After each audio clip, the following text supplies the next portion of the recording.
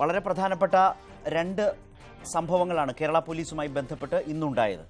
ഒന്ന് സുപ്രീം കോടതിയിൽ സെൻകുമാർ കേസുമായി ബന്ധപ്പെട്ട് പരിഹാസ രൂപേണ നിലവിലെ ഡി ജി പിയെ എന്തുകൊണ്ട് സർക്കാർ മാറ്റുന്നില്ല എന്ന ചോദ്യവുമായി സർക്കാരിനെ സുപ്രീം കോടതി നേരിട്ടു. ഇങ്ങ് കേരളത്തിൽ മഹിജ സംഭവത്തിൽ ഒത്തുതീർപ്പൊക്കെ ആവുമ്പോഴും ഷാജഹാനും ഷജീർ ഖാനും അടക്കമുള്ള പൊതുപ്രവർത്തകർ ജയിലിൽ കിടക്കുന്ന സാഹചര്യത്തിനെതിരെ രൂക്ഷ വിമർശനം ഉയരുന്നു. നിരാഹാര സമരമടക്കം ഷാജഹാന്റെ അമ്മ തുടരുന്ന സാഹചര്യം നിൽക്കുന്നു. യഥാർത്ഥത്തിൽ ഈ ഗൂഢാലോചന കുറ്റം മുന്നോട്ട് കൊണ്ടുപോകാൻ കേരള പോലീസിന് ഇനി എത്രമാത്രം കഴിയും എന്ന വലിയ ചോദ്യം ഉത്തരമില്ലാത്ത നിലയിൽ നിൽക്കുന്നു. ഇതാണ് ഇതിന്റെ ഒരു പൊതു സാഹചര്യം. ആ നിലയിൽ പിണറായി സർക്കാർ പോലീസിനെ ഉപകരണമായി കരുതുകയാണോ? അതോ സർക്കാരിന് പോലീസ് ബാധ്യതയായി മാറുകയാണോ? പ്രൈം ഡിബേറ്റ് ചർച്ച ചെയ്യുന്നു. ആദ്യം പ്രധാന വാർത്തകൾ. സെൻകുമാർ കേസിൽ സർക്കാരിനെ പരിഹസിച്ച് സുപ്രീം കോടതി. സെൻകുമാറിനെ മാറ്റിയത് വീഴ്ച കൊണ്ടാണെങ്കിൽ ബെഹ്റെ മാറ്റാത്തത് എന്തുകൊണ്ടാണെന്ന് കോടതി. നടപടിക്രമം വിശദീകരിച്ചാലും ബെഹ്റെ മാറ്റേണ്ടി വരുമെന്ന് സുപ്രീം കോടതി.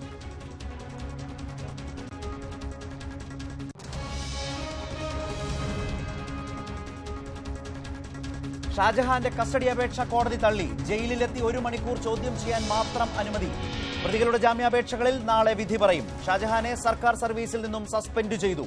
മഹിജയ്ക്കും കുടുംബത്തിനുമെതിരായ പോലീസ് അതിക്രമത്തിൽ എ ഡി ജി പിക്ക് അന്വേഷണ ചുമതല. പോലീസ് പിടിച്ച ശക്തിവേലിന് ഇടക്കാല ജാമ്യം. പ്രവീണിന്റെയും ബിബിന്റെയും അറസ്റ്റ് ഹൈക്കോടതി തടഞ്ഞു. പോലീസ് നടപടിയെ വിമർശിച്ച് കോടതി.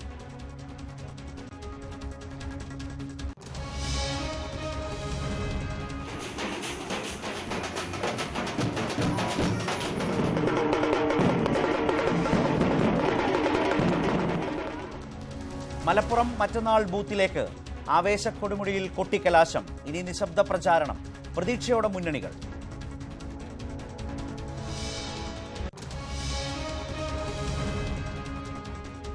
പത്താം ക്ലാസ് വരെ മലയാള ഭാഷ നിർബന്ധമാക്കും. ഓർഡിനൻസിന്റെ കരട് രൂപത്തിന് മന്ത്രിസഭാ യോഗത്തിന്റെ അംഗീകാരം C B S E I C S E സിലബസുകൾക്കും ബാധകം. മലയാളം പഠിപ്പിക്കാത്ത സ്കൂളുകളുടെ അംഗീകാരം റദ്ദാക്കും.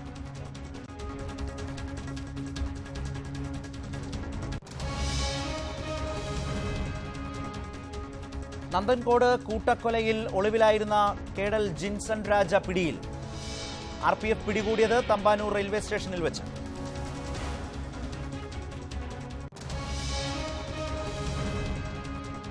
ഇന്ത്യൻ മുൻ നാവിക ഓഫീസറിന് പാകിസ്ഥാനിൽ വധശിക്ഷ കുൽഭൂഷൺ ജാദവിനെ തൂക്കിലേറ്റാൻ സൈനിക കോടതി വിധിച്ചത് ചാരൻ എന്ന് ആരോപിച്ച്.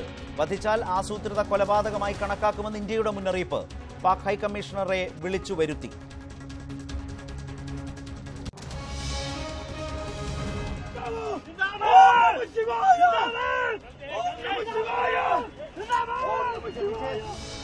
ഡൽഹിയിൽ പ്രതിഷേധം കടുപ്പിച്ച് തമിഴ്നാട്ടിലെ കർഷകർ പ്രധാനമന്ത്രിയുടെ ഓഫീസ് സ്ഥിതി ചെയ്യുന്ന സൗത്ത് ബ്ലോക്കിന് മുന്നിൽ തുണി ഉരിഞ്ഞു പ്രതിഷേധം.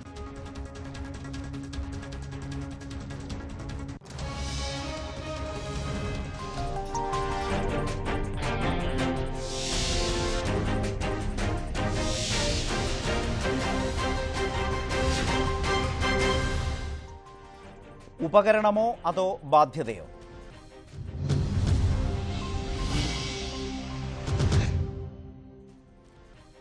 സെൻകുമാർ കേസിൽ സംസ്ഥാന സർക്കാരിനെ പരിഹസിച്ചും വിമർശിച്ചും സുപ്രീം കോടതി. ജിഷ്ണുവിന്റെ അമ്മ മഹിജയുടെ നിരാഹാര സമരത്തെ തുടർന്ന് Kerala D G P Loknath ബെഹ്റയെ മാറ്റിയോ എന്ന് കോടതി ചോദിച്ചു. ഡി ജി പി നിയമനത്തിലെ നടപടിക്രമങ്ങളെപ്പറ്റി സർക്കാർ വാദിച്ചാലും ബെഹ്റയ്ക്ക് പുറത്തു പോകേണ്ടി വരും എന്നും കോടതി പറഞ്ഞു. കേസിൽ നാളെയും വാദം തുടരും. അതേസമയം മഹിജയ്ക്ക് പിന്തുണ അർപ്പിച്ചെത്തിയ പൊതുപ്രവർത്തകരോടുള്ള പോലീസ് നടപടിയിൽ പ്രതിഷേധം ശക്തമാവുകയാണ്. കേസിൽ പ്രതിയായ ഷാജഹാന്റെ കസ്റ്റഡി അപേക്ഷ കോടതി തള്ളി. ജയിലിലെത്തി ഒരു മണിക്കൂർ ചോദ്യം ചെയ്യാൻ മാത്രമാണ് പോലീസിന് കോടതി അനുമതി നൽകിയത്. ജാമ്യാപേക്ഷകളിൽ പ്രതികളുടെ ജാമ്യാപേക്ഷകളിൽ നാളെ വിധി പറയും. എന്നാൽ കെ എം ഷാജഹാനെ സർക്കാർ സർവീസിൽ നിന്നും സസ്പെൻഡ് ചെയ്തു. നാൽപ്പത്തിയെട്ട് മണിക്കൂർ പോലീസ് കസ്റ്റഡിയുടെ പേരിലാണ് സസ്പെൻഷൻ. പിണറായി സർക്കാർ രാഷ്ട്രീയ വൈരാഗ്യം തീർക്കുകയാണെന്ന് കെ എം ഷാജഹാൻ ആരോപിച്ചു.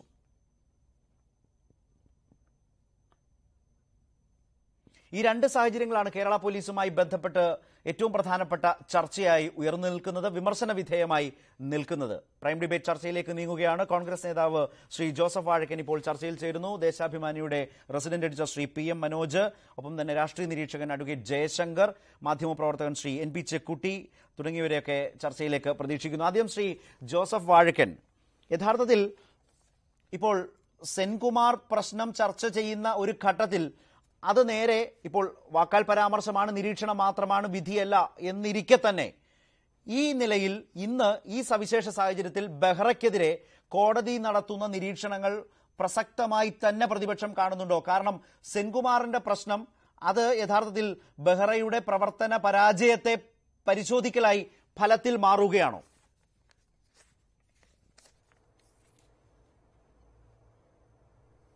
ഇത് വടി കൊടുത്ത് അടിമേടിക്കുകയാണ് സംസ്ഥാന ഗവൺമെന്റ്.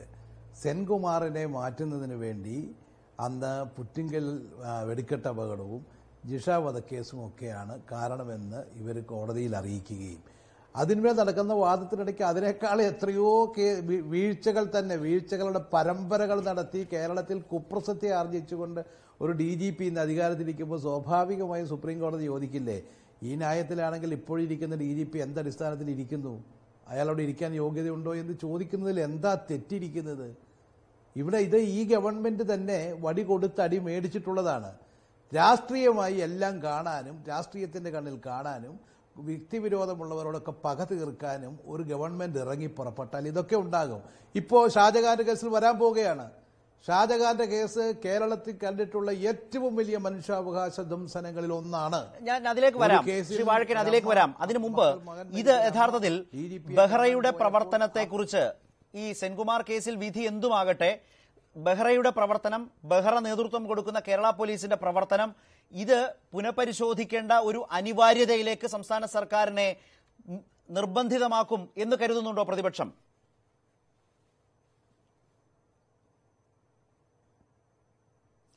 സംസ്ഥാന ഗവൺമെന്റിന് ഒരു ഗതിയും ഇല്ലാതിരിക്കുന്ന അല്ല ഇരിക്കുന്ന സ്ഥിതിയല്ലേ? ബെഹ്റ ഉൾ ബെഹ്റയല്ലാതെ ഇപ്പോൾ കേരളത്തിൽ നിലനിൽക്കുന്ന ഒരു ഡി ജി പിമാരെ ഇവർക്ക് വിശ്വാസമില്ല. ബെഹ്റയ്ക്കാണെങ്കിൽ ഈ ഡിപ്പാർട്ട്മെന്റ് കൊണ്ടുപോകാനും അറിയില്ല.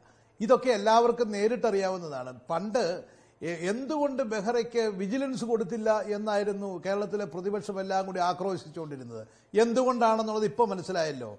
ശ്രീ രമേശ് ചെന്നിത്തല കേരളത്തിന്റെ ആഭ്യന്തരമന്ത്രിയായപ്പോൾ എന്തുകൊണ്ടാണ് വിജിലൻസിന്റെ ചുമതല ബെഹ്റയ്ക്ക് കൊടുക്കാതെ ശങ്കർ റെഡ്ഡിക്ക് കൊടുത്തത്? എന്തുകൊണ്ടാണെന്ന് ഇപ്പൊ കേരളത്തിന് മനസ്സിലായല്ലോ.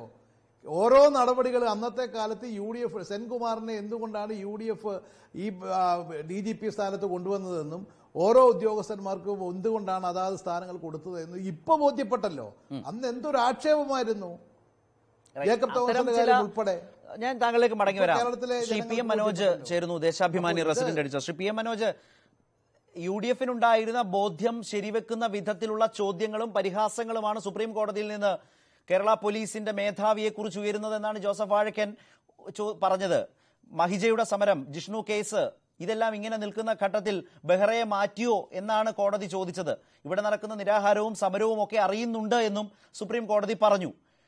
പരിഹാസ രൂപത്തിൽ ചോദിക്കുമ്പോൾ തന്നെ നിലവിലെ സാഹചര്യത്തിൽ കേരളത്തിൽ ഈ വിഷയങ്ങൾ പോലീസ് വിമർശിക്കപ്പെടുന്ന ഒരു ഘട്ടത്തിൽ ഇതൊക്കെ കേൾക്കാൻ ബെഹ്റ യോഗ്യനാണ് എന്ന് നമ്മുടെ ആളുകൾക്ക് കുറേയേറെ തോന്നാവുന്നൊരു സാഹചര്യം കേരളത്തിൽ നിലനിൽക്കുന്നു. അല്ലെങ്കിൽ ആ ബെഹ്റ സർക്കാരിനെയും പറയിപ്പിക്കുന്നു എന്നതല്ലേ അവസ്ഥ. അല്ല ഈ തുറന്ന കോടതിയിൽ നടന്ന വിമർശനങ്ങളും പരാമർശങ്ങളുമാണ് മാനദണ്ഡമെങ്കിൽ നമ്മുടെ മുൻ മുഖ്യമന്ത്രി ഉമ്മൻചാണ്ടി എന്നോ സന്യാസം സ്വീകരിച്ച് കാശിക്കോ മറ്റോ പോയേനെ. കാരണം അത്ര തുടർച്ചയായിട്ട് ഉമ്മൻചാണ്ടിക്കെതിരെ വന്ന വിമർശനങ്ങൾ റിപ്പോർട്ട് ചെയ്യുകയും ചർച്ച ചെയ്ത് ചെയ്യുകയും ചെയ്ത ആളുകളല്ലേ ശരത്തെ ഞാനും ശരത്തും ഒക്കെ. അതുകൊണ്ട് തന്നെ ഒരു ഒരു കേസിന്റെ ഒരു കേസിന്റെ പരിഗണനയുമായി ബന്ധപ്പെട്ട് ആ പിന്നെ ഒരു ഒരു ഡി ജി പിയെ മാറ്റിയ കേസാണ്. അദ്ദേഹം സുപ്രീം കോടതി പോയതാണ്. നേരത്തെ മാറ്റപ്പെട്ട D G P Senkumar supreme കോടതി പോയതാണ്. അപ്പോൾ അദ്ദേഹത്തെ ഒരു കൃത്യനിർവഹണത്തിൽ പിന്നെ ഇത് ഭംഗം വരുത്തി എന്നതാണ് ചാർജ്. ഇപ്പോഴ് പത്രത്തിൽ വാർത്ത വരുന്നു അഞ്ച് ദിവസം പിന്നെ നിരാഹാരം കിടക്കുന്നു മഹിജ. ആ അങ്ങനെ വരുമ്പോൾ വാർത്ത വായിച്ച ജഡ്ജി സ്വാഭാവികമായും എന്നിട്ട് അദ്ദേഹത്തെ മാറ്റിയോ? എന്തുകൊണ്ട് മാറ്റിയില്ല? എന്നൊക്കെ ചോദിക്കുമ്പോൾ അത് കോടതിയുടെ ഏതെങ്കിലും തരത്തിലുള്ള പിന്നെ നിഗമനമാണ് എന്ന് ധരിക്കുന്നതിന് പകരം കോടതി നടത്തുന്ന ആനുഷംഗികമായ പരാമർശമാണ് എന്ന് കണ്ട് ചർച്ച നിന്നെങ്കിലും വിട്ടു നിൽക്കണ്ടേ? ഇനി അഥവാ വിട്ടു നിൽക്കണ്ട. അങ്ങനെയാണെങ്കിൽ ഇതേ എന്റെ ചോദ്യം എന്റെ ചോദ്യം ഞാൻ ഒന്ന് ഒന്ന് റിവൈൻഡ് ചെയ്ത് കാരണം ശ്രീ പി എം മനോജ് എന്റെ ആ ചോദ്യം ഒന്നുകൂടി റിവൈൻഡ് ചെയ്ത് ഞാൻ താങ്കളിലേക്കും പ്രേക്ഷകരിലേക്കും. ഇത് ഒരു വാക്കാൽ പരാമർശമാണ് അതിന് അതിന്റെതായ ഗൗരവം മാത്രമേ ഉള്ളൂ. പക്ഷെ ഞാൻ ചോദിച്ചത് അതല്ല. ഇന്നത്തെ കേരളത്തിന്റെ സാഹചര്യത്തിൽ നിരന്തരം വിമർശിക്കപ്പെടുന്ന കേരള പോലീസ് നിയമസഭയിൽ തന്നെ ബഹുമാന്യനായ മുഖ്യമന്ത്രി പോലീസിന് വീഴ്ച പറ്റിയെന്ന് പറഞ്ഞതൊക്കെ നമ്മൾക്കറിയാമല്ലോ. ഈ ജിഷ്ണു കേസ് അതുപോലെ തന്നെ മഹിജയുടെ സമരം അതുമായി ബന്ധപ്പെട്ട കാര്യങ്ങൾ ഒത്തുതീർപ്പിൽ എത്തി നിൽക്കുന്ന ഒരു നല്ല സാഹചര്യം ഒക്കെ ഉണ്ട്. ഇതെല്ലാം മലയാളിക്ക് മുമ്പിൽ നിൽക്കുമ്പോൾ ഇങ്ങനെയൊക്കെ കേൾക്കാൻ ബെഹ്റ യോഗ്യനാണ് എന്ന് നമ്മുടെ ആളുകൾക്ക് അങ്ങനെയാണ് ഞാൻ ചോദിച്ചത് നമ്മുടെ ആളുകൾക്ക് തോന്നിയാൽ അവരെ കുറ്റം പറയാനാകുമോ? അല്ലെങ്കിൽ സർക്കാരിനെ പറയിപ്പിക്കുന്നയാളായി ബെഹ്റ മാറുന്നു എന്നതും ആളുകൾക്ക് തോന്നാവുന്ന ഒരു ബോധമല്ലേ ബോധ്യമല്ലേ? അല്ല ഈ പോലീസ് എന്ന് പറയുന്നത് എല്ലാ ഘട്ടത്തിലും നല്ലത് മാത്രം കേൾക്കുന്ന ഒരു സേനയല്ല എന്ന കാര്യം നമുക്ക് ആദ്യം ബോധ്യം വേണം. അതായത് ജിഷ കേസിൽ പ്രതിയെ കണ്ടെത്തി പിടിച്ചു പിടിച്ചപ്പോൾ പോലീസ് നല്ലത് കേട്ടു. അത് കഴിഞ്ഞ് പല കേസിലും പല കേസ് അന്വേഷണം നടക്കുമ്പോൾ തന്നെ നിരവധി നിരവധി കുഴപ്പങ്ങൾ ഉണ്ടാവുന്നുണ്ട്. പോലീസ് സേന എന്ന് പറയുന്നത് എല്ലാം ഇരു പിന്നെ പെർഫെക്റ്റ് നല്ല പൂതിക്കാഴ്ചയെ പൊന്നാണ് എന്ന ധാരണയൊന്നും ആർക്കും വേണ്ട. അതിന് അതിന്റെതായ കുഴപ്പങ്ങളുണ്ട്. അതിൽ ഞാൻ പറഞ്ഞല്ലോ കഴിഞ്ഞ അഞ്ചു വർഷം യു ഡി എഫ് ഭരിച്ച് വാഴക്കന്റെ പാർട്ടി ഭരിച്ച് അവശേഷിപ്പിച്ച പോലീസാണല്ലോ എല്ലാ വൃത്തികേടുകളും. തെളിവ് നശിപ്പിക്കൽ കൈക്കൂലി വാങ്ങൽ അതുപോലെ പിന്നെ കുറ്റകൃത്യങ്ങൾക്ക് പ്രോത്സാഹനം നൽകൽ കുറ്റകൃത്യങ്ങൾ സ്വയം പങ്കെടുക്കൽ. ഇങ്ങനെയുള്ള ആളുകളൊക്കെ പോലീസ് സേനയിലുണ്ട്. ഇവരൊക്കെ ഓരോ പ്രശ്നം വരുമ്പോഴാണ് പുറത്ത് വരുന്നത് പിടിക്കപ്പെടുന്നതും ഒഴിവാക്കപ്പെടുന്നതും ശിക്ഷിക്കപ്പെടുന്നതും. അതുകൊണ്ട് തന്നെ പോലീസ് സേന എല്ലാ എല്ലാ സമയത്തും ഈ പൂ വിരിച്ച പരവതാനിയിലൂടെ നടന്നു പോകുന്നു എന്ന ധാരണയൊന്നും ആർക്കും വേണ്ട. പോലീസിനെതിരെ വിമർശനം ഉണ്ടാവും. ആ വിമർശനം ക്രിയാത്മകമാണെങ്കിൽ അത് അംഗീകരിക്കണം. അതല്ല വിമർശനത്തിന് വേണ്ടിയുള്ള വിമർശനമാണെങ്കിൽ അത് മറ്റൊരു തരത്തിൽ കാണണം. ഇപ്പോൾ ലോക്നാഥ് ബെഹ്റയാണ് പോലീസ് ഈ അടുത്ത കാലത്ത് നടത്തിയ എല്ലാ കുഴപ്പങ്ങൾക്കും അല്ലെങ്കിൽ പോലീസിന് വന്നുപെട്ട എല്ലാ കുഴപ്പങ്ങൾക്കും പിന്നെ കുറ്റക്കാരെന്നൊന്നും ഞാൻ പറയില്ല. പോലീസ് സേനയുടെ പ്രശ്നമാണത്. ഇപ്പോ പിന്നെ ഒരു അത് ശരിയാണ്. അത് ശരിയാണ്. പക്ഷേ കോടതി ഇന്ന് കോടതി ഇന്ന് ചോദിച്ച ചോദ്യങ്ങളിൽ അതുമുണ്ട്. ഇപ്പോൾ പുറ്റിങ്ങൽ അപകടം ആ അപകടത്തിന് ഒരു ഉത്തരവാദിത്വം ആരെങ്കിലും നിശ്ചയിക്കപ്പെടേണ്ടേ?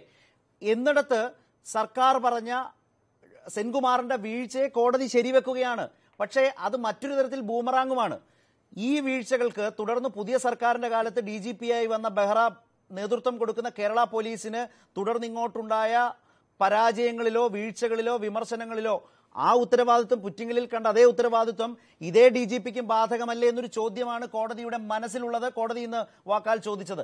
ആ നിലയിൽ ഒരു നീതി തന്നെ ഉണ്ടാവണം. ഇരട്ടത്താപ്പ് ഉണ്ടാകാൻ പാടില്ല എന്നൊരു ഒരു സ്വഭാവം കോടതിയുടെ ഈ ചോദ്യങ്ങളിലുണ്ട്. അല്ല ഞാൻ പറയുന്നത് ഒരു ഗവൺമെന്റ് വന്നു കഴിഞ്ഞാൽ ആ ഗവൺമെന്റ് നയം നടപ്പാക്കുന്ന ആളായിരിക്കണം പോലീസ് മേധാവി. അത് പ്രാഥമികമായിട്ട് നമുക്ക് എല്ലാവർക്കും അറിയാവുന്ന കാര്യമാണ്. ഇപ്പോൾ ജോസഫ് വാഴക്കന്റെ ഗവൺമെന്റ് വന്നു കഴിഞ്ഞാൽ പ്രസ് സെക്രട്ടറിയായിട്ട് പി എം മനോജിനെ നിയമിക്കില്ല. കാരണം പി എം മനോജ് നടപ്പാക്കുന്നത് സി പി എമ്മിന്റെ പി എം മനോജ് ഉൾപ്പെടുന്ന രാഷ്ട്രീയ പാർട്ടിയുടെ നയമായിരിക്കും. അതുപോലെ തന്നെ അത് അത്തരം ഈ പോലീസ് സേനയിലെ അനാവശ്യമായ രാഷ്ട്രീയവൽക്കരണവും ക്രിമിനൽ വൽക്കരണവും ഏറ്റവും മികച്ച പോലീസുകാർ ആണ് എന്ന് തെളിയിക്കപ്പെട്ട ആളുകൾ ആളുകളെ പോലും സമൂഹ മധ്യത്തിൽ തെളിവ് നശിപ്പിക്കുന്നവരും കുഴപ്പക്കാരുമാക്കി ചിത്രീകരിക്കുന്ന രീതിയിലുള്ള ഇടപെടലും യു ഡി എഫ് ഗവൺമെന്റ് കാലത്ത് ഉണ്ടായിട്ടുണ്ട്.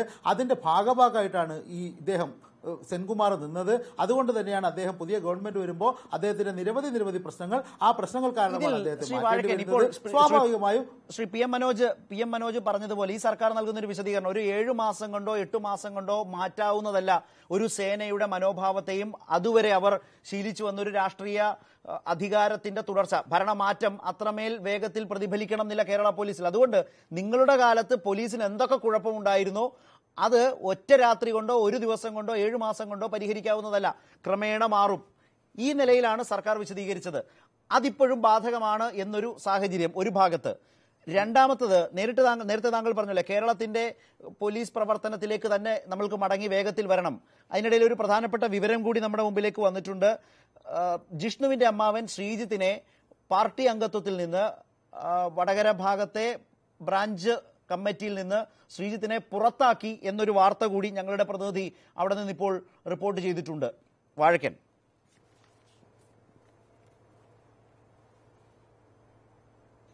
അല്ല സ്വന്തം മരുമകൻ മരിച്ചാലും പെങ്ങളുടെ മകൻ മരിച്ചാലും അതൊന്നും ചോദ്യം ചെയ്യാൻ പാടില്ല. പാർട്ടി പറയുന്നത് അതേപടി തൊണ്ട വിഴുങ്ങാ തൊണ്ട തൊടാതെ വിഴുങ്ങണം എന്നാണല്ലോ സി പി എമ്മിന്റെ നയം.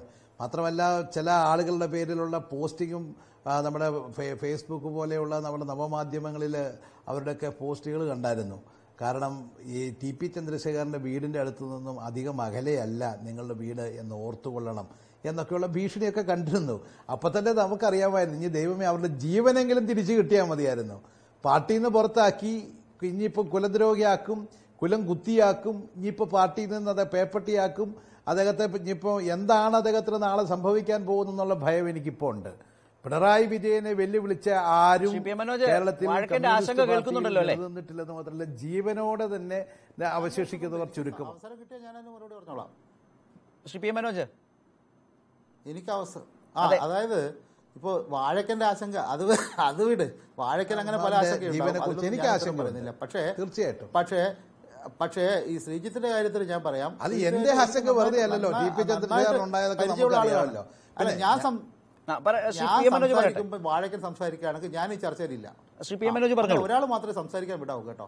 ആ അപ്പോ എന്താ പിന്നെ ശ്രീജിത്തുമായിട്ട് എനിക്ക് നല്ല വ്യക്തി ബന്ധമുള്ള ആളാണ്. ശ്രീജിത്ത് എന്നോട് പറഞ്ഞപ്പോഴല്ലേ ഞാൻ സംസാരിച്ചത്. അത് കഴിഞ്ഞു. ശ്രീ വാഴക്കൻ അത് കഴിഞ്ഞു. അദ്ദേഹം അടുത്തൊരു വിഷയത്തിലേക്ക് വന്നു. ശ്രീ പി എം മനോജിന് തുടരാം. താങ്കൾ പറയും. ആ ശ്രീജിത്ത് കഴിഞ്ഞ ദിവസങ്ങളിൽ പൊതുമധ്യത്തിൽ പ്രത്യക്ഷപ്പെട്ടത് ദേശാഭിമാനി ലേഖകൻ എന്ന പേരിലാണ്. യഥാർത്ഥത്തിൽ ശ്രീജിത്ത് ദേശാഭിമാനിയുടെ ലേഖകനല്ല. ആധികാരികമായിട്ട് തന്നെ ഞാൻ പറയുകയാണ്. ഞാൻ അതിന്റെ റെസിഡന്റ് എഡിറ്ററാണ് എനിക്കറിയാവുന്ന ശ്രീജിത്ത് നേരത്തെ വടകരയിൽ ദേശാഭിമാനിയുടെ ലേഖകനായിരുന്നു. ഇപ്പോഴേ ദേശാഭിമാനിയുടെ ലേഖകനല്ല. അദ്ദേഹത്തെ ഒഴിവാക്കിയതാണ്. രണ്ടാമത് അദ്ദേഹം ജിഷ്ണുവിന്റെ അമ്മാവൻ എന്ന പേരിലാണ് അറിയപ്പെടുന്നത്. ജിഷ്ണുവിന്റെ അമ്മാവൻ എന്ന പേരിൽ അറിയപ്പെടാനുള്ള അവകാ അദ്ദേഹത്തിന്റെ അവകാശത്തെക്കുറിച്ചൊന്നും ഞാൻ ചോദ്യം ചെയ്യുന്നില്ല. പക്ഷേ അതിൽ അദ്ദേഹം ബോധപൂർവം അദ്ദേഹമോ മറ്റാരെങ്കിലുമോ ബോധപൂർവം മറച്ചു വെക്കുന്ന ഒരു കാര്യമുണ്ട്. അദ്ദേഹം ജിഷ്ണുവിന്റെ അമ്മയുടെ പിതൃ സഹോദരിയുടെ മകനാണ്. അത് ആ- വികാരം അമ്മാവന്റെതാണെങ്കിൽ ആർക്കും തർക്കമില്ല. പക്ഷേ എന്നാലും അത് ആ രീതിയിൽ ജിഷ്ണുവിന്റെ ബന്ധു എന്ന രീതിയിലാണ് അറിയപ്പെടേണ്ടത്.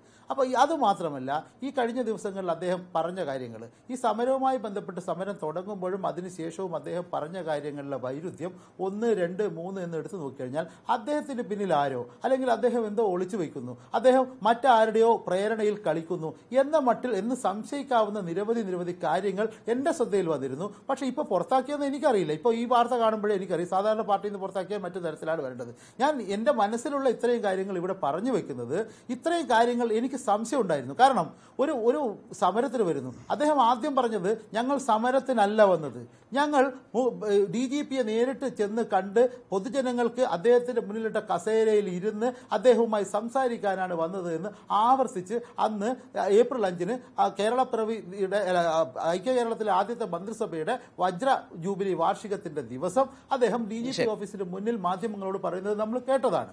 ആ കേട്ടത് അത് കഴിഞ്ഞ് പിന്നെയാണ് അറിയുന്നത് അവിടെ ഒരു സമരമാണ്. അദ്ദേഹം പറഞ്ഞ സമരമല്ല ഞങ്ങൾ നിവേദനം നൽകാനാണ് വന്നത്. പിന്നെ പറയുന്നു അവിടെ ഒരു സമരം പ്ലാൻ ചെയ്തിരുന്നു അത് ഉദ്ഘാടനം ചെയ്യാൻ ഒരു പ്രമുഖൻ എറണാകുളത്ത് എത്തിയിരുന്നു. അതുപോലെ മറ്റു ചില ആളുകളെ മറ്റു ചില സാംസ്കാരിക നായരെ വിളിച്ചിരുന്നു. അപ്പോൾ ഇതിലാകെ ശ്രീജിത്ത് എന്തൊക്കെയോ മറച്ചു വെച്ചിരിക്കുന്നു എന്ന് എനിക്ക് തോന്നലുണ്ടായിരുന്നു. ആ തോന്നൽ സാധൂകരിക്കുന്നതാണോ പുതിയ വിവരം ഞാൻ- ഏതായാലും ഇപ്പോൾ നേരത്തെ പറഞ്ഞ ശ്രീ എൻ പി ചെക്കുട്ടിയും അതുപോലെ തന്നെ അഡ്വക്കേറ്റ് ജയശങ്കറും ചേരുന്നുണ്ട്. ശ്രീ വാഴക്കൻ ഒറ്റ വാചകത്തിൽ ഞങ്ങളുടെ പ്രതിനിധി കൂടി വിവരങ്ങളുമായി ഇപ്പോൾ ചേരുന്നുണ്ട്. എന്താണ് ശ്രീ വാഴക്കിന് പറയാനുള്ളത്? ശ്രീ പി മനോജ് പറഞ്ഞത് കേൾക്കുമ്പോൾ. അല്ല അല്ല ഞാൻ അല്ല ഞാൻ ഞാൻ ഭയപ്പെടുന്ന ഞാൻ ഞാൻ ഭയ ഞാൻ ഭയപ്പെടുന്നതിലേക്ക് കാര്യങ്ങൾ വരുന്നു. ആടിനെ പട്ടിയാക്കാൻ തുടങ്ങിയിട്ടുണ്ട്. ഇന്നലെ പിണറായി വിജയന്റെ ഫോണിൽ വിളിച്ച് സംസാരിച്ച ആളാണ് ശ്രീജിത്ത്. ഇന്നലെ കേരളത്തിലെ രണ്ട് പ്രധാനപ്പെട്ട നിയമരംഗത്തെ പ്രധാനപ്പെട്ട ആളുകൾ അവരുടെ പിന്നെ സ്പെഷ്യൽ പ്രോസിക്യൂട്ടറും അതുപോലെ സ്റ്റേറ്റ് അറ്റോർണിയും ഇന്നലെ ഈ ശ്രീജിത്തുമായിട്ടാണ് എഗ്രിമെന്റ് ഉണ്ടാക്കിയത്. ആ ശ്രീജിത്തിന് വെള്ളം കൊടുത്തത് ഇവരാണ്. അതൊക്കെ അപ്പോ ഇത് ഞാൻ പറഞ്ഞല്ലോ അത് ഇന്നലെ രക്ഷപ്പെടാൻ വേണ്ടി മാത്രം ചെയ്തിട്ടുള്ളതാണ്. ആടിനെ പട്ടിയാക്കാൻ അത് പിന്നെ ഏതായാലും വാഴക്കൻ ഈ വാർത്തയുടെ ഈ വാർത്തയുടെ വിവരങ്ങൾ കൂടി നമുക്ക് നമ്മൾക്ക് കൂടുതലായി കിട്ടേണ്ടതുണ്ട്. രാഹുൽ വടകരയിൽ നിന്ന് എനിക്ക് വലിയ ബലമായ സംശയം സംബന്ധിച്ച് ഞാൻ മടങ്ങി വരാം. ജയശങ്കറിലേക്കും ശ്രീ എൻ പി ചെക്കുട്ടിയിലേക്കും വരാം വേഗം. രാഹുൽ എന്താണ് ഈ തീരുമാനത്തെ സംബന്ധിച്ച് ലഭ്യമാകുന്ന നമ്മൾക്ക് ലഭ്യമാകുന്ന വിവരങ്ങൾ? ശരത്തെ അല്പസമയം നിന്നുമാണ് വണ്ണാർകണ്ടി ബ്രാഞ്ച് കമ്മിറ്റി അംഗ അംഗത്തിൽ നിന്നും ശ്രീജിത്തിനെ പുറത്താക്കിയിരിക്കുന്നു എന്ന ഒരു സുപ്രധാന വാർത്ത വളയത്തിൽ നിന്നും രാഹുൽ അതായത് ആ കമ്മിറ്റി യോഗത്തിൽ ആ ബ്രാഞ്ച് യോഗത്തിൽ രാഹുൽ പങ്കെടുത്തോ രാഹുൽ നാട്ട് ക്ഷമിക്കണം ശ്രീജിത്ത് നാട്ടിലെത്തിയോ ശ്രീജിത്ത് ആ യോഗത്തിൽ പങ്കെടുത്തോ വിശദീകരണം കേൾക്കുന്ന സാഹചര്യം ഉണ്ടായി ഇതൊന്നുമില്ലാതെ പാർട്ടി മെമ്പർഷിപ്പിൽ നിന്ന് പുറത്താക്കുകയായിരുന്നോ. തീർച്ചയായും ശുചിത്വ സമരവുമായി ബന്ധപ്പെട്ട് ജിസ്നുവിന്റെ അമ്മ ജിസ്നുവിന്റെ അമ്മ മഹിജ തിരുവനന്തപുരം ആശുപത്രിയിൽ ചികിത്സയിലാണ്. അവിടെയാണ് ഇപ്പോൾ ശ്രീജിത്ത് ഉള്ളത് അതുകൊണ്ട് തന്നെ ശ്രീജിത്ത് ഇപ്പോൾ ഇനി രണ്ടു ദിവസം കഴിഞ്ഞാൽ മാത്രമേ വളയത്തേക്ക് എത്തൂ. അല്പസമയം മുമ്പായിരുന്നു വണ്ണാർകണ്ടി ഗാന്ധി കമ്മിറ്റി യോഗം ചേർന്നതും ആ യോഗത്തിൽ ഒരു സുപ്രധാനമായ തീരുമാനവും പാർട്ടി എടുത്തിരിക്കുന്നു. പാർട്ടി അംഗത്തിൽ നിന്നും ശ്രീജിത്തിനെ പുറത്താക്കിയിരിക്കുന്നു എന്ന ഒരു സുപ്രധാന വാർത്തയാണ് പുറത്തു വരുന്നത് ശ്രീജിത്തിനെതിരെ ചുമത്തിയിരിക്കുന്ന ശ്രീജിത്തുമായി സംസാരിച്ചിരുന്നോ? രാഹുൽ ശ്രീജിത്തിനെ വിളിച്ചിരുന്നോ? ശ്രീജിത്തിന്റെ സഹോദരൻ ന്യൂസ് എയ്റ്റീനുമായി സംസാരിച്ചിരുന്നു. സംസാരിക്കുമ്പോൾ കൃത്യമായ വിവരമാണ് പാർട്ടി അംഗത്തിൽ നിന്ന് തന്നെ ആ യോഗത്തിൽ പങ്കെടുത്തിരിക്കുന്ന ആളുകളിൽ നിന്ന് തന്നെയാണ് ശ്രീജിത്തിന്റെ ബന്ധുക്കൾക്ക് ഈ വിവരങ്ങൾ കിട്ടുന്നത്. അത് ഉടൻ തന്നെ മാധ്യമങ്ങൾക്ക് കൈമാറുകയായിരുന്നു. ഇതിൽ കൃത്യമായി പറയുന്നു പാർട്ടിയെ പ്രതിരോധത്തിലാക്കാൻ ശ്രീജിത്തിനെ കൊണ്ട് പാർട്ടിയെ പ്രതിരോധത്തിലാക്കാൻ സർക്കാരിനെ പ്രതിരോധത്തിലാക്കാൻ ഇത്തരം ഒരു പ്രവർത്തനങ്ങളാണ് തുടക്കത്തിൽ മുതൽ ശ്രീജിത്ത് കാണിച്ചിരുന്നത്. അതുകൊണ്ട് തന്നെ പാർട്ടി അംഗത്തിൽ നിന്നും ശ്രീജിത്തിനെ പുറത്താക്കിയിരിക്കുന്നു എന്നുള്ള കാര്യമാണ് ഈ യോഗത്തിൽ തീരുമാനമെടുത്തിരിക്കുന്നത്. മറ്റു പാർട്ടികളെ സംഘടിപ്പിച്ചും മാധ്യമങ്ങളെ സംഘടിപ്പിച്ച് സർക്കാരിനെതിരെ രൂക്ഷമായ രൂക്ഷമായിട്ടുള്ള പ്രവർത്തനങ്ങൾ ശ്രീജിത്ത് നടത്തിയെന്നാണ് പറയുന്നത് ശരത്. ഞാൻ ഇപ്പോൾ ശ്രീ പി എം മനോജ് ചർച്ചയിൽ ഇല്ല എന്നാണ് മനസ്സിലാക്കുന്നത്. അഡ്വക്കേറ്റ് ജയശങ്കർ ഷാജ ഇന്നിപ്പോൾ D G P Loknath Behra supreme കോടതിയിൽ നിന്ന് ബെഹ്റയെ അങ്ങനെയാണെങ്കിൽ മാറ്റേണ്ടതല്ലേ എന്ന് കോടതിയുടെ പരിഹാസ ചോദ്യം ഒരു ഭാഗത്ത്. അതേ ദിവസം തന്നെ ഷാജഹാൻ അടക്കമുള്ളവരുടെ പ്രശ്നം കേരളത്തിൽ സജീവമായി നിൽക്കുന്നു. അവർ ജയിലിൽ കിടക്കുന്നു. അതിനെതിരെ വിമർശനം ഒരു ഭാഗത്ത് നിൽക്കുന്നു. അത് ചർച്ച ചെയ്യുന്ന ഒരു ഘട്ടത്തിലാണ് ഏറ്റവും പുതിയ വിവരമായി ഇപ്പോൾ ശ്രീജിത്തിനെ പുറത്താക്കി സി പി എമ്മിൽ നിന്ന് പുറത്താക്കിക്കൊണ്ടുള്ള ഒരു നടപടി രാഷ്ട്രീയ നടപടിയിലേക്ക് സി പി എം പോയിട്ടുള്ളത്. നേരത്തെ വാഴക്കൻ പറഞ്ഞു ഈ ശ്രീജിത്തുമായി ബന്ധപ്പെട്ടാണ് ഇന്നലെ ഈ ധാരണകളൊക്കെ ഉണ്ടാക്കിയിട്ടുള്ളത്. ശ്രീജിത്താണ് അഭിഭാഷകർക്കൊപ്പം ഇക്കാര്യങ്ങൾ വിശദീകരിച്ചത് മാധ്യമങ്ങളോടടക്കം. എന്നിരിക്കെ സി പി എം അങ്ങനെ കൂടി ഒരു നിലപാട് ശ്രീജിത്തിന്റെ കാര്യത്തിൽ സ്വീകരിച്ചതുകൂടി കാണുമ്പോൾ അഡ്വക്കേറ്റ് ജയശങ്കർ.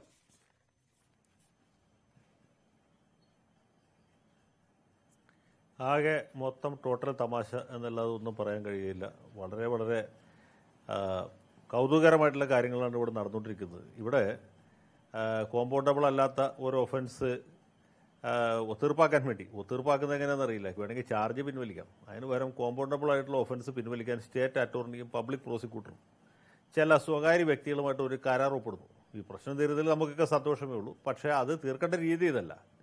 അങ്ങനെ ഒരു കരാർ ഒപ്പിടുന്നു ആ കരാറിലെ മഷി തുടങ്ങുന്നതിന് മുമ്പ് അതിലെ പ്രധാനപ്പെട്ട ഒരാളെ ഇതിലെ ഒരു കക്ഷിയെ അദ്ദേഹം അംഗമായിട്ടുള്ള രാഷ്ട്രീയ പാർട്ടിയിൽ നിന്ന് പുറത്താക്കുന്നു. ഇനിയിപ്പോൾ ഈ കരാറിന്റെ ഭാവി എന്തായിരിക്കും എന്ന് എനിക്കറിയില്ല. അങ്ങനെ ഒരു കരാർ കോടതി മുമ്പാകെ നിലനിൽക്കുന്നുള്ള കാര്യം തന്നെ സംശയാസ്പദമാണ്. മാത്രവുമല്ല ഷാജഹാനും മറ്റുമെതിരായിട്ടുള്ള കുറ്റം ഗൂഢാലോചനയും മറ്റുമൊക്കെയാണ്. അതായത് പോലീസ് ആസ്ഥാനത്ത് അതിക്രമിച്ച് കടന്ന് എന്തൊക്കെയോ ഗുരുതരമായ കൊള്ളരായ്മകൾ ചെയ്യാൻ ഉദ്ദേശിച്ചു.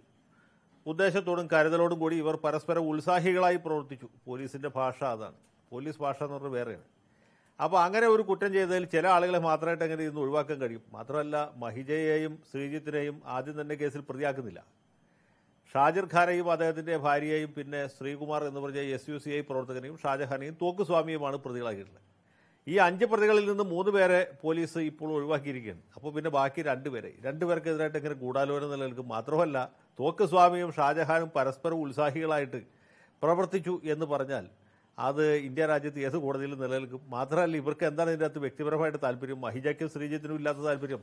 ഷാജഹാൻ എങ്ങനെ ഉണ്ടായി? ഇതൊക്കെ വളരെ കൗതുകകരമായിട്ടുള്ള കാര്യങ്ങളാണ്. പക്ഷേ ഇതിൽ സങ്കടകരമായിട്ടുള്ള കാര്യം ഷാജഹാൻ ജാമ്യം കിട്ടാതെ ഇപ്പോഴും ജയിലിൽ കഴിയുന്നു എന്നുള്ളതാണ്. ഇങ്ങനെ രാഷ്ട്രീയ വിരോധമുള്ള ആളുകളെ തുറുകിലടച്ച് തടവറയിൽ ഇട്ട് ഈ മാതിരി പ്രശ്നങ്ങൾ കൈകാര്യം ചെയ്യാമെന്നാണ് സർക്കാർ വിചാരിച്ചിട്ടുള്ളതെങ്കിൽ ഇവർ വിട്ടികളുടെ സ്വർഗത്തിലാണെന്ന് എനിക്ക് പറയും. സത്യത്തിൽ ഇത് വളരെ എളുപ്പത്തിൽ കൈകാര്യം ചെയ്യാമായിരുന്ന ഒരു വിഷയമായിരുന്നു. അത് പിടിപ്പ് കേടുകൊണ്ട് ഇത്രയും വഷളായി എന്നാണ് എനിക്ക് തോന്നുന്നത്. ഞാൻ ഇന്നലെ പറഞ്ഞില്ലേ സൂചി കൊണ്ടെടുക്കാവുന്നത് തൂമ്പ കൊണ്ടെടുക്കുന്ന ഒരു രീതിയാണ് ഈ സർക്കാർ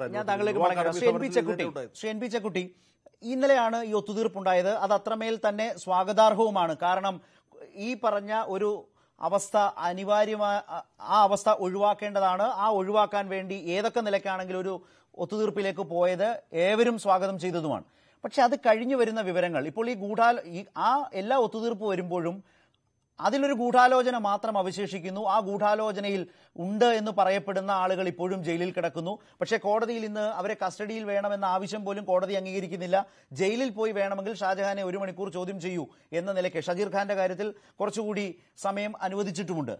മറുഭാഗത്ത് ഇതിനെല്ലാം മുൻകൈയെടുത്ത ശ്രീജിത്തിനെ ഏറ്റവും അധികം ഇതിനെ സി പി എം പ്രതിരോധിച്ചതും അവർ സർക്കാരിനെ ഒരുപാട് ആക്രമിക്കാതിരുന്നതും അവർക്ക് ഇരു കൂട്ടർക്കും അങ്ങോട്ടും ഇങ്ങോട്ടും പാർട്ടിയുമായുള്ള ബന്ധത്തെ മുൻനിർത്തിയായിരുന്നു. ഇപ്പോൾ ഇതിൽ ഏറ്റവും പ്രകടമായി മുമ്പിൽ നിന്നയാൾ ശ്രീജിത്ത്. ഇപ്പോൾ പി എം മനോജ് പറഞ്ഞല്ലോ നേരിട്ട് അമ്മാവനല്ല. ദേശാഭിമാനി ലേഖകൻ എന്ന ലേബൽ ഇപ്പോഴും ദുരുപയോഗിച്ചു ശ്രീജിത്ത്. പല നിലകളിലും പാർട്ടിയെയും സർക്കാരിനെയും പ്രതിരോധത്തിലാക്കുന്ന നടപടികൾ ബോധപൂർവം ശ്രീജിത്ത് എടുത്തു എന്ന് പാർട്ടി കണ്ടെത്തി ഇരുപത്തിനാല് മണിക്കൂറിനകം പുറത്താക്കുക കൂടി ചെയ്താൽ എന്താണ് യഥാർത്ഥത്തിൽ സർക്കാർ ഇക്കാര്യത്തിൽ എടുക്കുന്ന സമീപനത്തെ മനസ്സിലാക്കേണ്ടത്? പരസ്യം കൊടുത്ത അതേ മനോഭാവത്തിലും നിലപാടിലുമാണോ ഇക്കാര്യങ്ങളിൽ സർക്കാർ ഇപ്പോഴും നിലയുറപ്പിച്ചിരിക്കുന്നത്?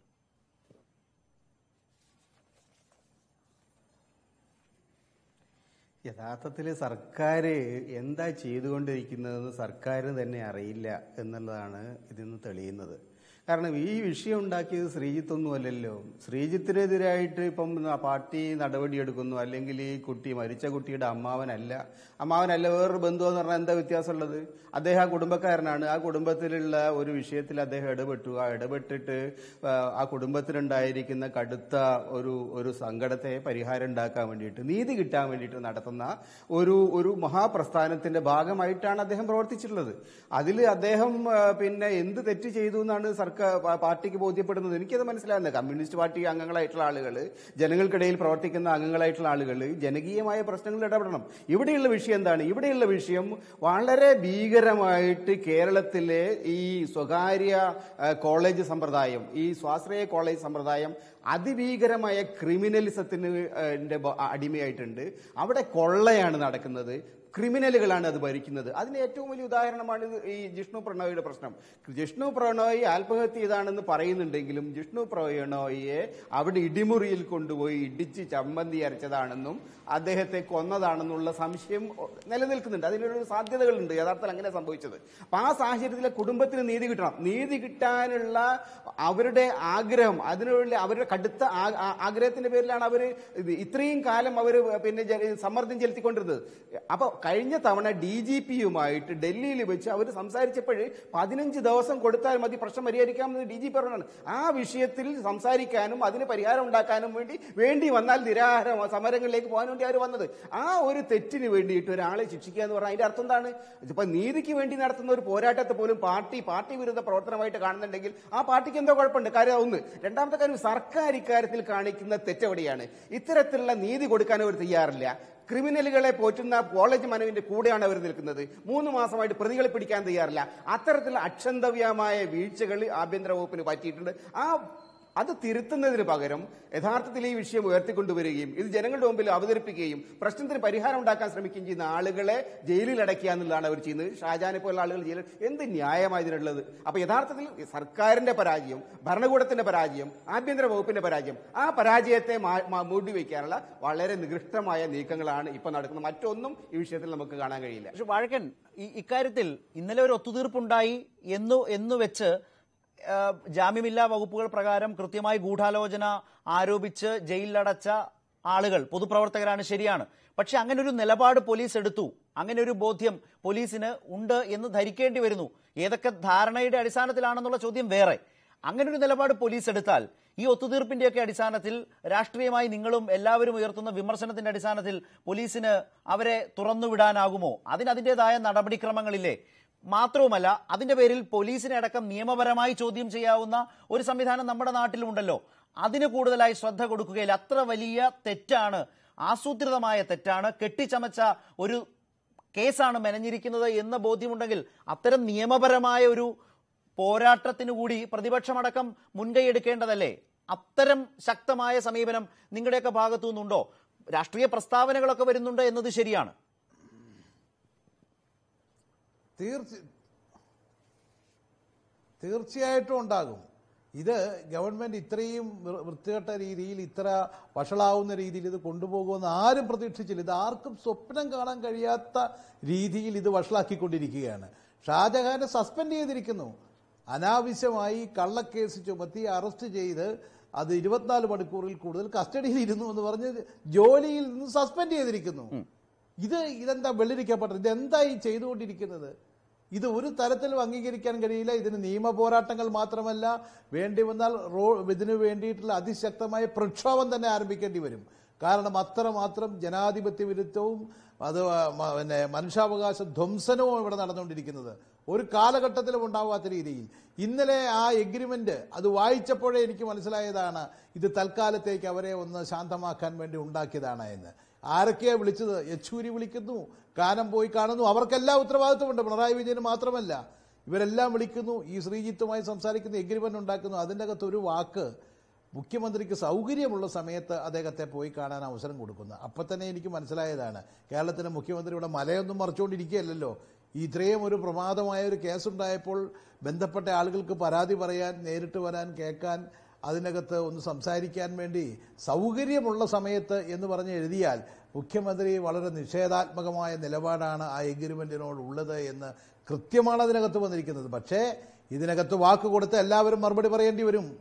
യെച്ചൂരി ഉൾപ്പെടെ കാനൻ രാജേന്ദ്രൻ ഉൾപ്പെടെ ഈ പറയുന്ന സ്റ്റേറ്റ് അറ്റോർണി ഉൾപ്പെടെ സ്പെഷ്യൽ പ്രോസിക്യൂട്ടർ ഉൾപ്പെടെ ഈ ജനസമൂഹം മുഴുവൻ കേരളത്തിന്റെ ജനസമൂഹം മുഴുവൻ കണ്ടിട്ടുള്ള കാര്യങ്ങളാണ്. ഞാൻ നേരത്തെ പറഞ്ഞത് വെറുതെ പറഞ്ഞിട്ടുള്ളതൊന്നുമല്ല. പിണറായി വിജയനെ വെല്ലുവിളിച്ചിട്ടുള്ള ആളുകളൊക്കെ അവരുടെയൊക്കെ അനുഭവങ്ങളും ദുരനുഭവങ്ങളും ഒക്കെ കേരളത്തിൽ ഉള്ളതാണ്. അത് തന്നെ ഇവിടെ സംഭവിക്കാൻ പോകുന്നോ എന്ന് എനിക്ക് ഭയമുണ്ട്. ആ ശ്രീജിത്ത് ഇന്ന് ആ എനിക്ക് എനിക്ക് തോന്നുന്നു അത് പിന്നെ വളരെ ഭയവികലനായി ഇന്നലെ വരെ ഒരു പ്രാവശ്യം പോലും മുഖ്യമന്ത്രിക്കെതിരെയോ അവർക്ക് ഒന്നും ആർക്കും സംസാരിച്ചു പോലുമില്ല. മാത്രമല്ല ഈ ജിഷ്ണുവിനെ കുറിച്ച് നമ്മൾ കേട്ടതാ. ജിഷ്ണു കഴിഞ്ഞ വിഷുവിന് ശരിയാണ്. അദ്ദേഹം ശ്രീകൃഷ്ണന്റെ തൊട്ട് സൈഡിൽ കൊണ്ടുപോയി വെച്ചിരുന്ന പടം ശ്രീ ശ്രീകൃഷ്ണന്റെ പടം ഉണ്ടായിരുന്നു അറിയത്തില്ല ഏതായാലും ഇത് ആരുടെ പിണറായി വിജയന്റെ പടം വെച്ച് കണ്ണുപൊത്തി രാവിലെ വന്ന് കടി കണ്ട പയ്യനാണ്. മാത്രമല്ല അദ്ദേഹത്തിന്റെ വാട്സാപ്പ് മെസ്സേജുകൾ മുഴുവൻ എസ് എഫ് ഐക്കുള്ളതാണ്. എവിടെ പോയി എസ് എഫ് ഐ എന്നൊക്കെ പറയുന്ന വിദ്യാർത്ഥി പ്രസ്ഥാനം? ഈ നാട്ടിൽ ഗുണ്ടായുസം നടത്താൻ വേണ്ടി മാത്രമുള്ളതല്ലാതെ ഇവർ ഇവർ ആർക്ക് ഇവർ ആരോട് ഉത്തരവാദിത്വമുണ്ട്? സ്വന്തം പ്രസ്ഥാനത്തിൽ വിശ്വസിച്ച് നമുക്ക് വേണ്ടി നമുക്ക് വാഴക്കൻ അത് അത് പറയുമ്പോഴും അത് പറയുമ്പോഴും അത് പറയുമ്പോഴും മുമ്പ് പറഞ്ഞ സ്വാശ്രയ കോളേജിലെ ഇടിമുറികൾ തകർക്കുന്നതിൽ മുൻപന്തിയിലുള്ള വിദ്യാർത്ഥി പ്രസ്ഥാനം അവർ തന്നെയാണ് എന്നും ഈ കേസിൽ പോലും സോഷ്യൽ മീഡിയയിൽ ഏറ്റവും വലിയ ചർച്ച ഈ ദിവസങ്ങളിൽ അതാണല്ലോ. ഈ ജിഷ്ണുവിന്റെ ആത്മഹത്യയുടെ ആദ്യ ദിവസങ്ങളിലെ മാധ്യമ സമീപനം മാധ്യമ സമീപനം.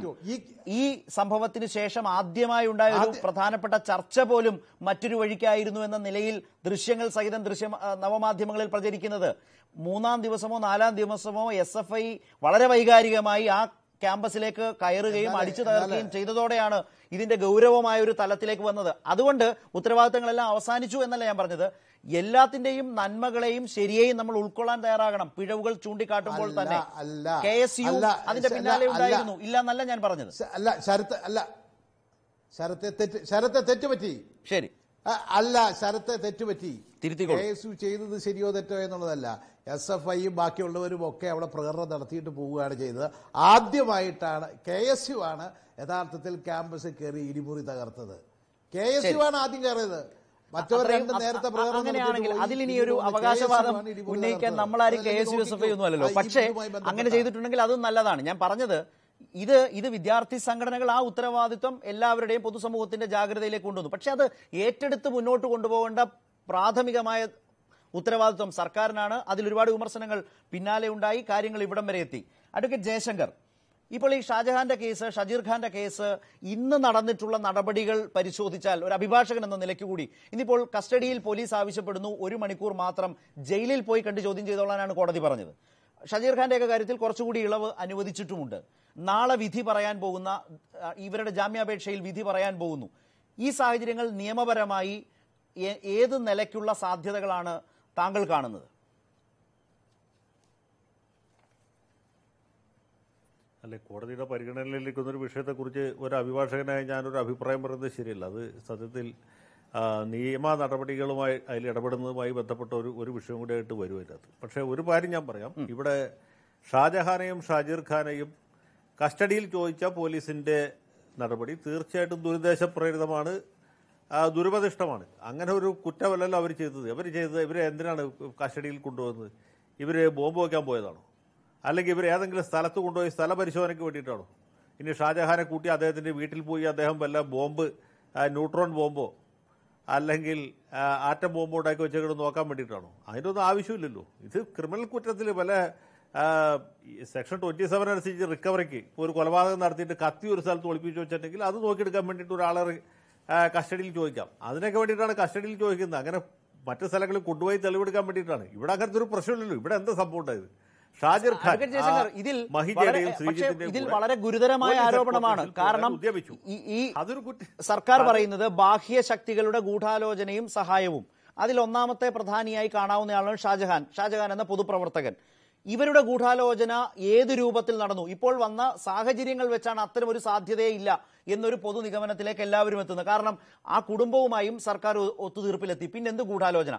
പക്ഷേ പോലീസിന് ആ ഗൂഢാലോചന അന്വേഷണം മുന്നോട്ട് പിന്നെ എങ്ങനെ കൊണ്ടുപോകാനാകും? കോടതിയോട് ഉത്തരവാദിത്വമില്ലേ? പറയണ്ടേ. തങ്ങൾ ഏറ്റെടുത്ത തങ്ങൾ ചാർജ് ചെയ്ത കേസിന്റെ അവസ്ഥ ഇതാണ്. അല്ലെങ്കിൽ ഇങ്ങനെയാണെന്ന് എങ്ങനെയാണ് പിന്നെ അന്വേഷണ സംഘം ഇവരിലൂടെ വിവരങ്ങൾ ശേഖരിക്കുക? അല്ല ഇവരിൽ നിന്ന് അല്ലെങ്കിൽ എന്ത് വിവരം ഇപ്പൊ ഇവർക്ക് ശേഖരിക്കാനുള്ളത്? ഒന്ന് ആലോചിച്ച് നോക്കൂ. ഈ കേസ് തന്നെ കെട്ടിച്ചമച്ച കേസല്ലേ? മഹിജയല്ലേ ഒന്നാം പ്രതിയാക്കേണ്ടത്? ശ്രീജിത്തിനെ രണ്ടാം പ്രതിയാക്കണം. അത് കഴിഞ്ഞു ഷാജിർ ഖാൻ. അത് കഴിഞ്ഞിട്ട് അദ്ദേഹത്തിന്റെ ഭാര്യ മിനി. അത് കഴിഞ്ഞ് ശ്രീകുമാർ. അത് കഴിഞ്ഞ് ഷാജഹാൻ. ഇതിലിപ്പോൾ ഈ പറഞ്ഞ എല്ലാ പ്രതികളെയും ഒഴിവാക്കിയില്ലേ? മഹിജയെ ആദ്യം തന്നെ കേസിൽ പ്രതിയില്ല ശ്രീജിത്ത് പ്രതിയായില്ല. പിന്നെ ബാക്കിയുള്ളവരാണ്? പിന്നെ ബാക്കിയുള്ള ഷാജിർ ഖാൻ തൊട്ടുള്ളവരെ പ്രതികളായിട്ടുള്ളൂ. അവരെ തന്നെ സർക്കാർ ഒത്തീർപ്പുണ്ടാക്കി കേസിൽ നിന്ന് ഒഴിവാക്കുന്നു. ഇങ്ങനെ ചില ആൾക്കാരെ കേസിൽ നിന്ന് ഒഴിവാക്കാൻ പറ്റുമോ? ക്രിമിനൽ കേസല്ലേ ഇത്. ഗൂഢാലോചനയിൽ നിന്ന് മൂന്ന് പ്രതികളെ ഒഴിവാക്കി രണ്ടുപേരെ നിലനിർത്തുകയും ചെയ്യാൻ പറ്റുമോ? ഇതത്തെ വെള്ളരിക്കപ്പെടണമാണോ ഈ നാട്ടിൽ ക്രിമിനൽ നടപടി നിയമമില്ലേ? ഇന്ത്യൻ ശിക്ഷാ നിയമമില്ലേ? ഇതിന് അതീതമായിട്ട് പോലീസുകാർക്ക് കേസ് അന്വേഷിക്കാൻ പറ്റുമോ? സ്റ്റേറ്റ് അറ്റോർണിയും സ്പെഷ്യൽ പ്രോസിക്യൂട്ടറും പോയി ഒപ്പിട്ട് കൊടുത്തതല്ലേ അതിന് വിപരീതമായിട്ട് കോടതിയിൽ പോലീസിന് വാദിക്കാൻ പറ്റുമോ എന്താ ഈ പറഞ്ഞതിന്റെ അർത്ഥം? ഇനിയിപ്പോ ഷാജിർ ഖാനെ ചോദ്യം ചെയ്തിട്ട് എന്ത് കിട്ടാനാണ്? അദ്ദേഹത്തെ കേസിൽ നിന്ന് ഒഴിവാക്കാന്ന് ഉത്തരവാദിത്തപ്പെട്ട സ്പെഷ്യൽ പ്രോസിക്യൂട്ടർ വേറെ ആരുമല്ല വഴി പോണവരൊന്നുമല്ല ബോധമില്ലാത്ത ഏതെങ്കിലും എ പി പി അല്ല ഒപ്പിട്ട് കൊടുത്തത് സ്പെഷ്യൽ പബ്ലിക് പ്രോസിക്യൂട്ടർ ഒപ്പിട്ട് കൊടുക്കുന്നു അത് കഴിഞ്ഞിട്ട് ഇനി ഞങ്ങൾ കസ്റ്റഡിയിലെടുത്ത് ചോദ്യം ചെയ്യുന്നു പറഞ്ഞാൽ ഏത് പൈസയിട്ടാണ് ഇപ്പൊ നമ്മുടെ നാട്ടുപുറത്തേക്കാണ് ആൾക്കാർ മുണ്ടുപോക്കി കാണിക്കും. അതാ ചെയ്യേണ്ടത്. പറഞ്ഞ മനസ്സിലല്ലേ ഇട്ടിട്ട് അത് ചെയ്യാൻ പറ്റില്ല. അദ്ദേഹം ആ സ്ഥാനത്തിരിക്കുന്നതുകൊണ്ട്. ഇല്ലേ? തോന്നിവാസമല്ലേ ഇവർ കാണിക്കുന്നത്? തീർച്ചയായും. ഇന്നലെ ഇന്നലെ പുറത്തു വന്ന ഒത്തുതീർപ്പിന് ഭിന്നമാണ് ഈ പറഞ്ഞ പോലീസിന്റെ റിപ്പോർട്ട് ഇന്ന് കോടതിയിൽ പോയത്. ഈ ഗൂഢാലോചന ഉണ്ട് എന്ന് സമർത്ഥിക്കുന്ന റിപ്പോർട്ട് തന്നെയാണ്. അതുകൊണ്ട് തന്നെ ഈ പ്രതികളെ കസ്റ്റഡിയിൽ വേണമെന്നാണ് കോടതി പറഞ്ഞത്. ആ പറഞ്ഞതിൽ ഒരു വളരെ പ്രധാനപ്പെട്ട വൈരുദ്ധ്യം അങ്ങനെ നിലനിൽക്കുകയാണ്. വളരെ പ്രധാനപ്പെട്ട ഒരു പ്രശ്നമായി ചർച്ച ചെയ്യപ്പെടുന്നത് അതുതന്നെയാണ് സർക്കാരിന് ആ വിധത്തിൽ പോലീസ് ഉപകരണമാണോ? അതോ സർക്കാരിന് മറ്റൊരു തരത്തിൽ ഇത് ബാധ്യതയാണോ എന്ന പ്രധാനപ്പെട്ട ചോദ്യത്തിന്റെ വിവിധ ഭാഗങ്ങളാണ് ചർച്ചയിൽ ഇപ്പോൾ ഉയർന്നു വന്നത്. എൻ പി ചെക്കുട്ടി ഇപ്പോൾ നിയമപരമായ ഇതിന്റെ ഒരു അവസ്ഥയെക്കുറിച്ച് പോലീസ് നേരിടാൻ പോകുന്ന വലിയ പ്രശ്നങ്ങളെക്കുറിച്ചൊക്കെയാണ് അഡ്വക്കേറ്റ് ജയശങ്കർ സൂചിപ്പിച്ചത്. ചെന്നുപെട്ടിരിക്കുന്ന അകപ്പെട്ടിരിക്കുന്ന ഒരു വലിയ കെണിയുണ്ട്. ഇവിടെ ഇനി രാഷ്ട്രീയമായി സി അതുപോലെ തന്നെ പൊതുവിൽ മുന്നണി ഈ ഒത്തുതീർപ്പിന് ശേഷം ഇപ്പോൾ വന്നുകൊണ്ടിരിക്കുന്ന വിമർശന വിധേയമാകുന്ന ഈ നടപടികളുണ്ടല്ലോ. ഷാജഹാന്റെ കാര്യത്തിൽ ഷജീർ ഖാന്റെ കാര്യത്തിലൊക്കെ എടുക്കുന്ന പോലീസിന്റെ തുടർ നടപടികൾ ഒരു ഭാഗത്ത് ഇപ്പോൾ ശ്രീജിത്തിനെ സി പി എം തന്നെ പുറത്താക്കിക്കൊണ്ടും ഒരു രാഷ്ട്രീയ നിലപാട് പ്രകടമാക്കുന്നു. ഇതൊക്കെ യഥാർത്ഥത്തിൽ വലിയ വലിയ വൈരുദ്ധ്യങ്ങളോ വലിയ വലിയ ആശയക്കുഴപ്പങ്ങൾക്കോ ഇടവരുത്താൻ ഇടയുള്ളതാണോ ആ മുന്നണിയിലും സി പി എമ്മിനകത്തും?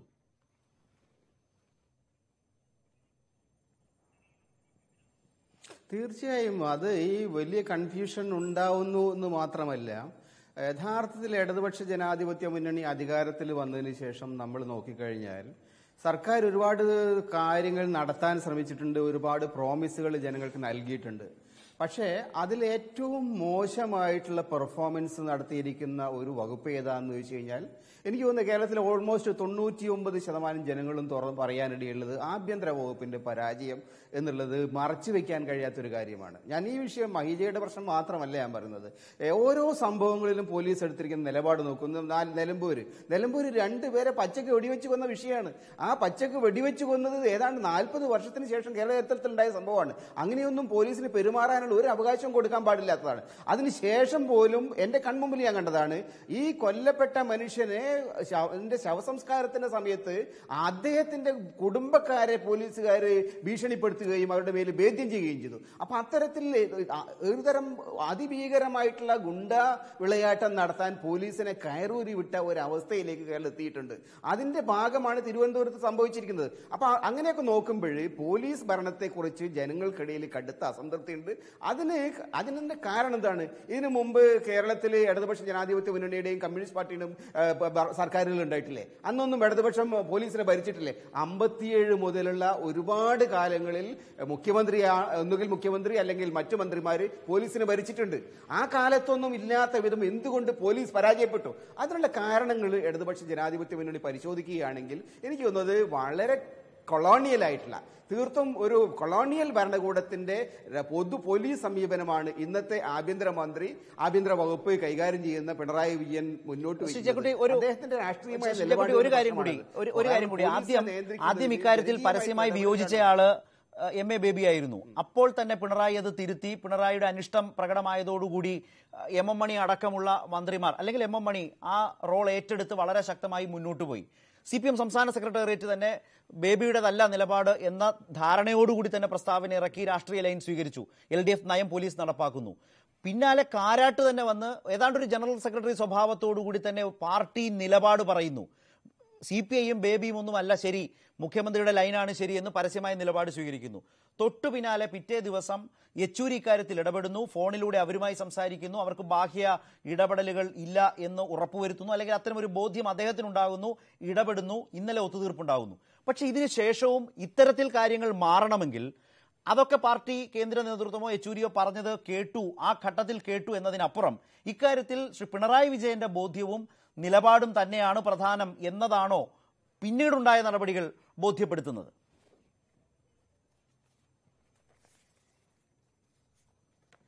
സി പി എമ്മിൽ നേരത്തെ ഉണ്ടായിരുന്ന ഗൗരവമുള്ള ആഭ്യന്തര പ്രശ്നങ്ങൾ വീണ്ടും തിരിച്ചു വരിക. എന്താണ് നമുക്ക് കാണാൻ കഴിയുന്ന ഒരു കാര്യം.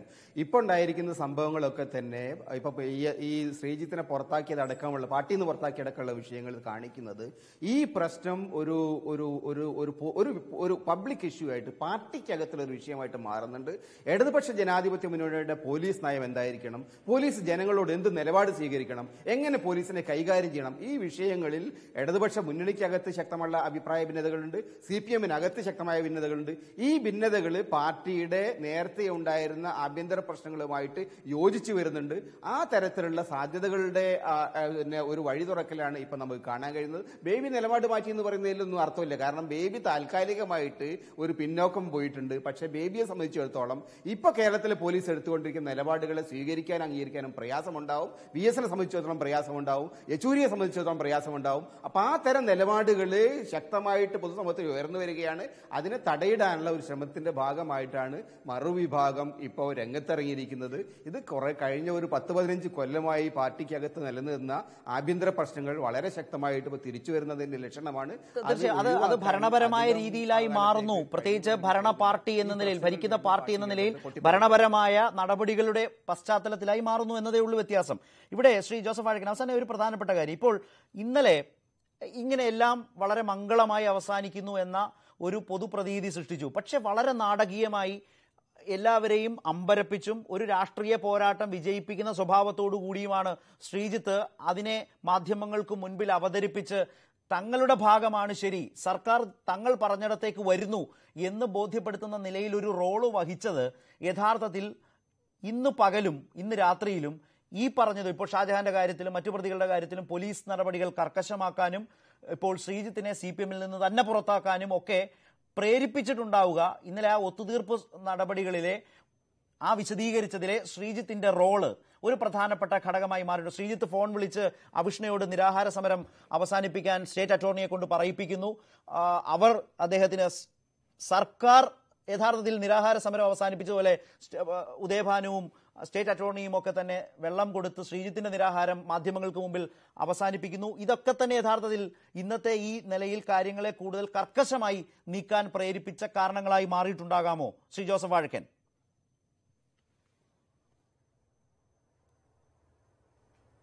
അല്ല അതെങ്ങനെ എനിക്ക് മനസ്സിലായില്ല.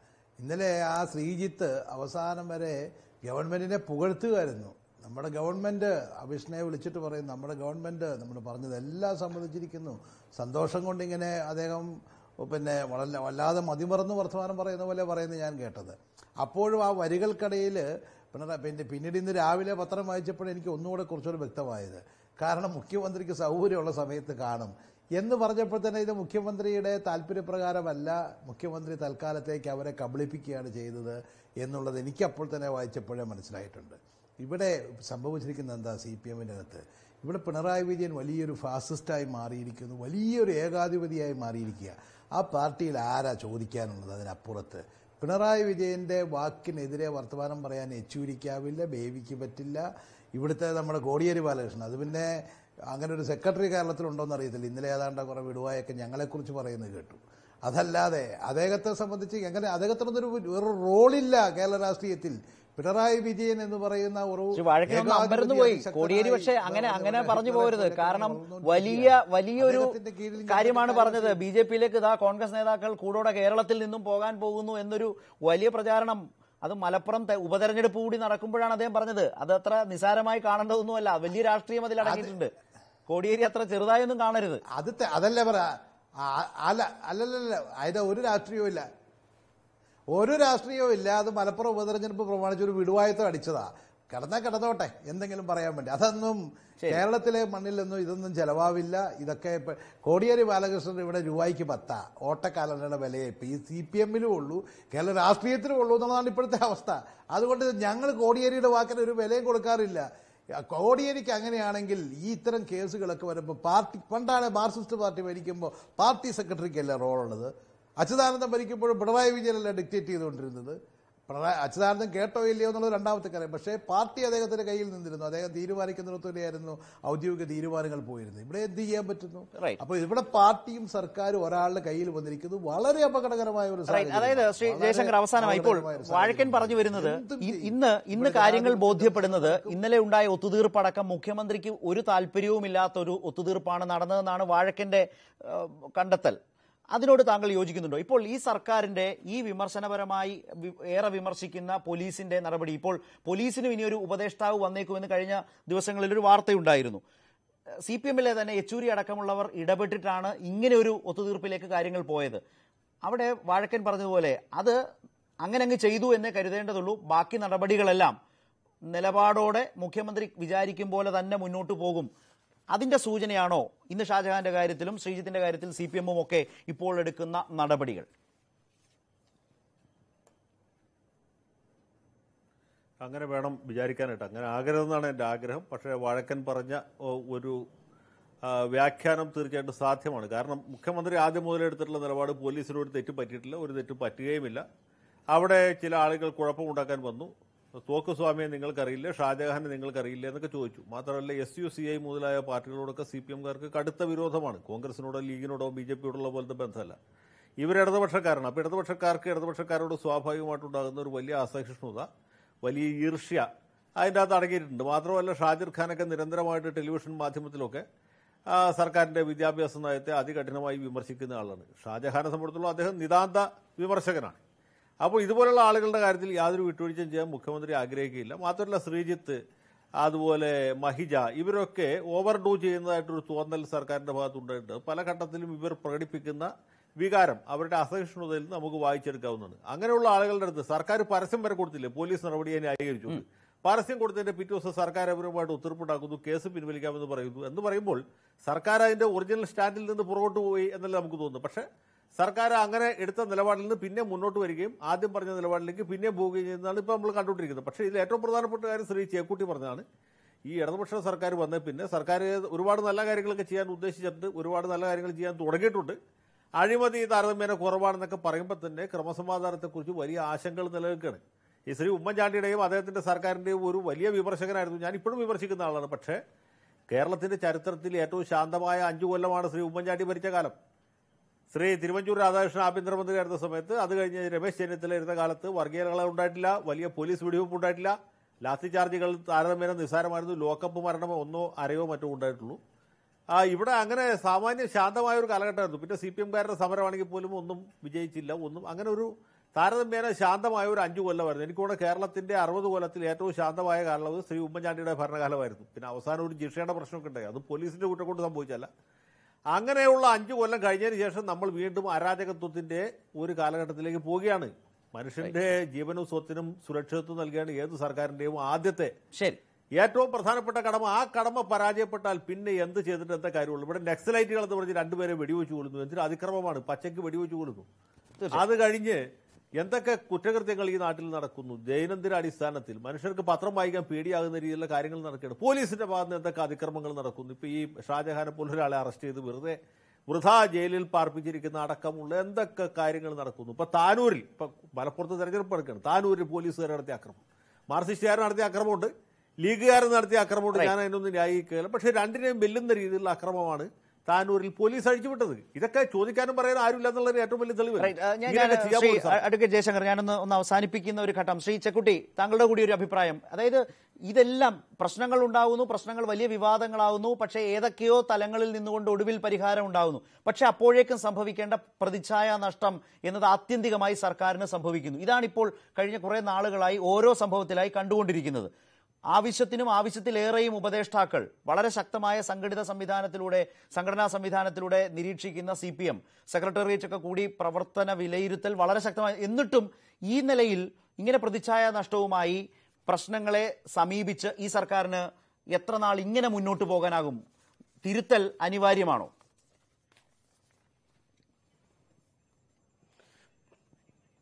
തീർച്ചയായും മുഖ്യമന്ത്രി അദ്ദേഹത്തിന്റെ ശൈലിയിൽ മാറ്റം വരുത്താൻ തയ്യാറാവുന്നില്ലെങ്കിൽ ഈ മന്ത്രിസഭയ്ക്ക് നല്ല നിലയിൽ അഞ്ചു കൊല്ലം പൂർത്തിയാക്കാൻ കഴിയില്ല. അതൊരു വസ്തുതയാണ്. കാരണം ഒരു വർഷം പൂർത്തിയാക്കുന്നതിന് മുമ്പ് ഈ കഴിഞ്ഞ എത്രയോ വർഷങ്ങളായിട്ട് ഇടതുപക്ഷത്തിന്റെ സാധാരണ പ്രവർത്തകർ നൽകിയ ഒരുപാട് അധ്വാനം ഒരുപാട് കഠിനമായ പ്രയത്നങ്ങളാണ് ഈ മന്ത്രിസഭയെ അധികാരത്തിലേറ്റാൻ സഹായിച്ചത് പക്ഷേ അതിനെ മുഴുവനും ഇല്ലാതാക്കുന്ന തരത്തിലുള്ള പ്രവർത്തനങ്ങളാണ് ഇപ്പൊ നടന്നുകൊണ്ടിരിക്കുന്നത്. അതിന് പ്രധാനമായിപ്പെട്ട കാരണം മുഖ്യമന്ത്രിയുടെ പലപ്പോഴും അനാവശ്യമായ പിടിവാശിയും വളരെ കൊളോണിയലായ അദ്ദേഹത്തിന്റെ സമീപന രീതികളുമാണ്. പോലീസ് ഭരണം ഒന്നുകിൽ അദ്ദേഹം വേറെ ഒരാളെ ഏൽപ്പിക്കുക അല്ലെങ്കിൽ അദ്ദേഹത്തിന്റെ ശൈലി മാറ്റുക. ഇതല്ലാണ്ട് മറ്റൊരു മാർഗവുമില്ല പക്ഷെ എന്ന് പാർട്ടി അദ്ദേഹത്തോട് അത് പറയുന്നോ അന്ന് മാത്രമേ ആ മാറ്റം നോക്കൂ ഞാനൊന്ന് ഒന്ന് ഇടപെടുന്നു. നമ്മുടെ സമയം അവസാനിക്കുന്നതുകൊണ്ടാണ് വളരെയധികം നന്ദി. Shri N P Chekkutty Shri Joseph Vazhakkan Shri advocate Jayasankar Shri P M Manoj ദേശാഭിമാനിയുടെ resident editor. അദ്ദേഹം ഈ ചർച്ചയുടെ ആദ്യഘട്ടത്തിലുണ്ടായിരുന്നു. മറ്റ് ചില അസൗകര്യങ്ങൾ ഉള്ളത് കാരണമാണ് ചർച്ചയിൽ അദ്ദേഹത്തിന് തുടരാൻ കഴിയാതെ പോയത്. വളരെയധികം നന്ദി ചർച്ചയിൽ സഹകരിച്ചതിന്. മറ്റൊരു പ്രധാനപ്പെട്ട വിവരത്തിലേക്ക് കൂടി പ്രൈം ഡിബേറ്റ് വേഗത്തിൽ ഒന്ന് പോകുന്നു. നന്ദൻകോട് കൂട്ടക്കൊലയിൽ ഒളിവിലായിരുന്ന പ്രതി പിടിയിലായി എന്നതാണ് പ്രധാനപ്പെട്ട വിവരം. തമ്പാനൂർ റെയിൽവേ സ്റ്റേഷനിൽ നിന്നാണ് പിടികൂടിയത്. വിവരങ്ങളുമായി ഇപ്പോൾ വി വി അരുൺ ചേരുകയാണ്. അരുൺ നാടിനെ നടുക്കിയ കൊലപാതകം അധികം വൈകാതെ തന്നെ പ്രതിയെ പിടിക്കാനായി എന്ന വലിയ നേട്ടവും ആശ്വാസവും പോലീസിന്. അതിന്റെ വിവരങ്ങൾ എന്തൊക്കെയാണ്? ശരത്ത് വൈകിട്ട് ഏഴ് മണിയോടുകൂടിയാണ് കേതലിനെ പോലീസ് കസ്റ്റഡിയിലെടുത്തത് ചെന്നൈയിൽ നിന്ന് തിരുവനന്തപുരത്തേക്ക് ട്രെയിനിൽ വരികയായിരുന്നു. ആദ്യം റെയിൽവേ പോലീസാണ് കേതലിനെ കസ്റ്റഡിയിലെടുത്ത് ഇയാൾ ഇപ്പോൾ കന്റോൺമെന്റ് സ്റ്റേഷനിൽ ചോദ്യം ചെയ്യൽ പുരോഗമിക്കുകയാണ്. ഡി സി പി അരുൾകൃഷ്ണ ചോദ്യം ചെയ്യൽ നടക്കുന്നത്. കേതൽ കുറ്റം സംബന്ധിച്ചതായാണ് നമുക്ക് ലഭിക്കുന്ന വിവരം. ഇയാൾ അപൂർവ മാനസിക രോഗത്തിനുടമയാണെന്നും പോലീസ് പറയുന്നുണ്ട്. സാത്താൻ സേവ നടത്തിയിരുന്നുവെന്നും ശരീരത്തിൽ നിന്ന് ആത്മാവിനെ മോചിപ്പിക്കാനാണ് താൻ കൊലപാതകം നടത്തിയെന്നുമാണ് പോലീസിനോട് ഇയാൾ പറഞ്ഞിരിക്കുന്നത്. മൂന്ന് പേരെയും അച്ഛനെയും അമ്മയും സഹോദരിയും ഒരു- ഒരുമിച്ചാണ് ഇയാൾ കൊലപ്പെടുത്തിയത്. കമ്പ്യൂട്ടർ പുതിയ കമ്പ്യൂട്ടർ ഗെയിം കണ്ടുപിടിച്ചുവെന്നും അത് കാണിക്കാമെന്നും പറഞ്ഞവരെ റൂമിലേക്ക് വിളിപ്പിക്കുകയായിരുന്നു. അവിടെ വെച്ച് മൂന്ന് പേരെയും ഒരുമിച്ച് കൊലപ്പെടുത്തുകയായിരുന്നു എന്നാണ് ഇപ്പോൾ കേതൽ പോലീസ് നൽകിയ മൊഴി. ഇയാൾ അസ്വാഭാവികമായ സ്വഭാവത്തിനുടമയാണെന്നും പോലീസ് പറയുന്നു. ഏതായാലും ചോദ്യം ചെയ്യൽ തുടരുകയാണ്. തെളിവെടുപ്പ് അടക്കമുള്ള മറ്റു നടപടികളിലേക്കും പോലീസ് ഉടൻ കടക്കും. ശരത്. അരുണാണ് ഇപ്പോൾ തിരുവനന്തപുരത്ത് നിന്ന് ഈ വിവരം നൽകിയത്. പ്രൈം ഡിബേറ്റ് അവസാനിക്കുന്നു. നമസ്കാരം.